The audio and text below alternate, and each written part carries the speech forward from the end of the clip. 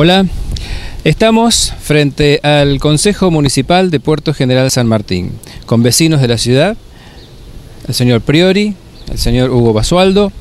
El tema es la ex Delta y ese predio que ya está clausurado por contaminación, que los vecinos hace tiempo que vienen luchando para que se ha convertido en un balcón al río. La provincia clausuró el año pasado el predio de Delta. Bueno, la parte de pimenta se cerró por cromo, plomo y antimonio y otro compuesto más. Y bueno, pero nosotros la pedimos, sea la demora que tenga, la pedimos para que eso sea un espacio público de balcón al río, que en Puerto ya no nos ha quedado nada porque todo ha sido entregado, las costas han sido entregadas desde la prefectura hasta Punta Quebracho.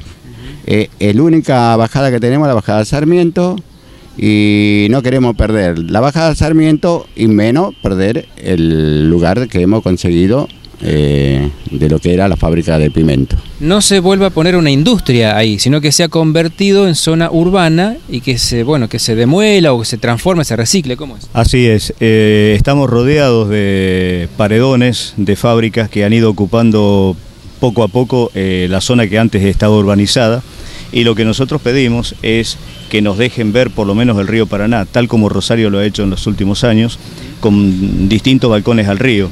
El tema es que las industrias han ido ocupando la zona de Puerto General San Martín, posiblemente por falta de interés de las autoridades de preservar un lugar no solo de interés turístico para otras personas, sino también para la propia población que se está quedando sin lugares eh, de recreación, por más que hay algunos parques eh, limitados. Creo que también es un, un despojo cultural porque nos ha quitado algo que realmente está muy vinculado a la vida de cada uno de los puertenses.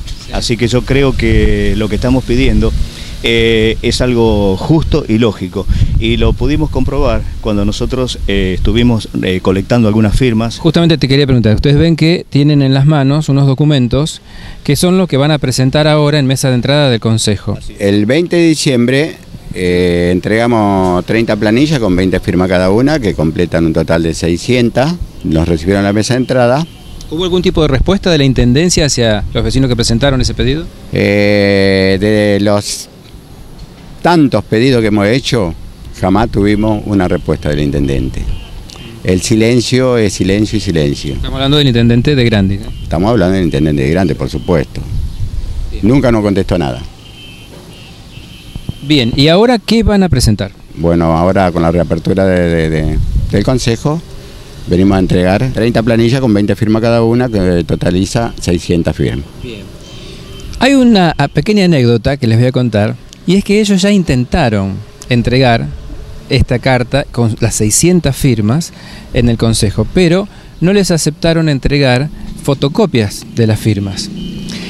Y ellos están trayendo fotocopias certificadas, o sea que hay un juez que dice que cada hoja corresponde exactamente a las eh, firmas, a las firmas originales. Así es. Y ahora vamos a reintentar. Bueno, vamos a reintentar ya que hemos ido hasta el juez a, hacer, eh, autenticar eh, la firma, en el cual que tuvimos que pagar un costo que sale de nuestro bolsillo.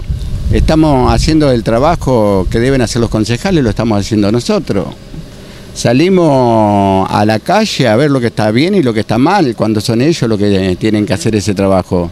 Vamos a presentar, entonces vayamos a acompañarlo como prensa a los vecinos a presentar este pedido que representa la voluntad de una buena parte de la población de Puerto San Martín. ¿Quién no quiere que eso que es, un, es inservible, ese edificio totalmente contaminado, no sea bueno, limpiado el terreno y convertido en una plaza pública, en un lugar que tengamos de nuevo el famoso balcón al río? ¿no? Bueno, vamos. Bueno, vamos.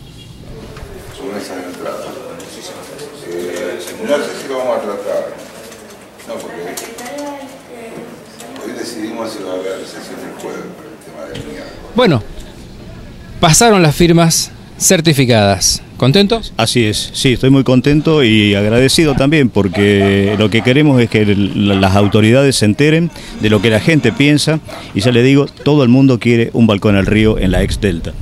Hugo, eh, Rarac las revisó, pero se vio obligado a aceptarlo ya que estaban certificadas. A aceptarla porque no nos quiso recibir eh, las fotocopias ayer, nunca tuvieron inconveniente en la municipalidad ni en el consejo, jamás. Nunca tuvieron inconveniente de recibir una fotocopia.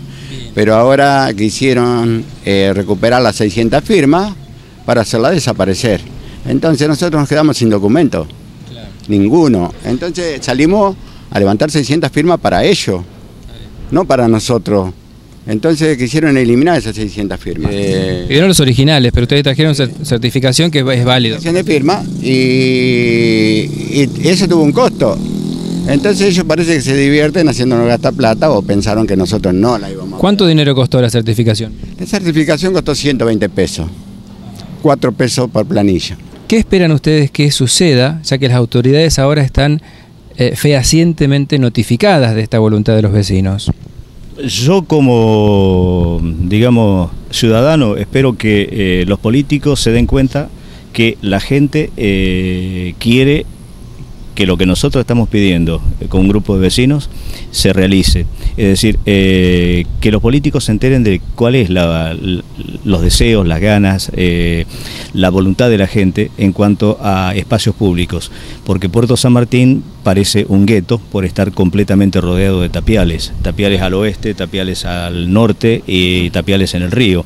Y la ocupación por empresas de espacios que deberían ser de dominio público y que la gente pueda ir. Hugo, Em, ¿Tu anhelo personal cuál es con este proyecto?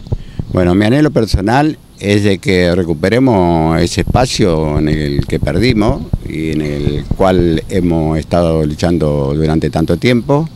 El anhelo nuestro es recuperarlo, que se abra un balcón al río, que limpien la bajada, que también en la bajada se haga una mejora. El próximo paso sería entonces esperar que alguno de los seis concejales o alguno de los dos bloques que hay en este consejo sacara algún proyecto en función del, de la voluntad de los vecinos, que, que, este, que esto que hoy es un anhelo de los vecinos se transforme en un proyecto de ordenanza que habilite al Ejecutivo a hacer todos los trámites necesarios. Sería eh, declararlo de interés eh, municipal para luego su posterior eh, librado al, como espacio público.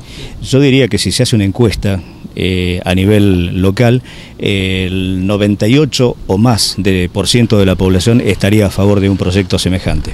También hay que tener en cuenta, y Hugo acá seguramente lo va a recordar, muchas veces se habló de que en realidad es Delta o American Colors, actualmente la dueña, la que tiene una deuda con la ciudad por causa de la contaminación que ha producido. O sea, la deuda ambiental, la famosa deuda ambiental, se puede medir en millones de pesos porque es lo que cuesta remediar, así es el término, remediar el terreno. Si hubiera que descontaminar ese terreno que ahora está clausurado, ese trabajo lleva también un costo muy alto.